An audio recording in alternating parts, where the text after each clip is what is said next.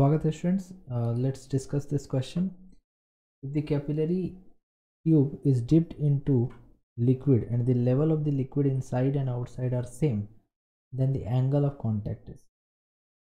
तो ये चार ऑप्शंस में से चूज़ करना है, कौन कौन सा सही होगा? क्वेश्चन ये कह रहा है कि एक कैपिलरी ट्यूब को अगर हम लोग डुबाते हैं लिक्विड में इस तरह से तो level of liquid inside and outside are same मतलब कि पानी बस यहीं तक है, इसके ऊपर गया ही नहीं ठीक है?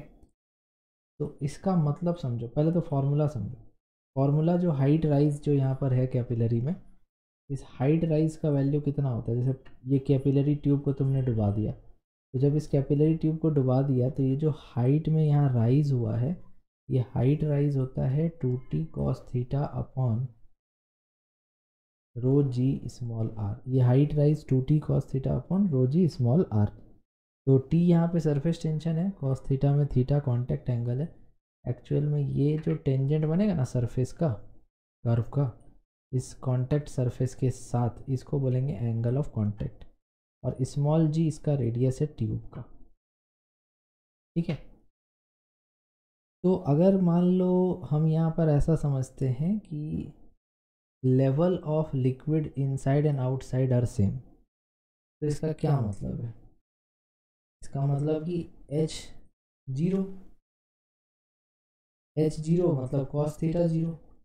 Cos theta zero कहने का मतलब कि थीटा का वैल्यू क्या हो गया? Ninety degree.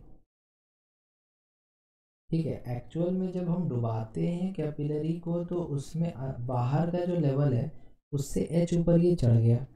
तो ये फॉर्मूला हमने लगाया। अब क्वेश्चन में ही बोल दिया है कि एच का वैल्यू है ही नहीं। क्यों? क्योंकि कैपिलरी ट्यूब के अंदर का हाइट और बाहर का हाइट सेम है। तो वो तभी ना होगा जब एच ज़ीरो होगा।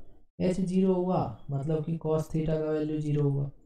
रेडियस ऑफ़ द ट्यूब तो ज़ीरो है नहीं। सरफेस टेंशन रो जी ये सब तो ज़ीरो नहीं है। मतलब कॉस थीटा ही तो ज़ीरो हुआ।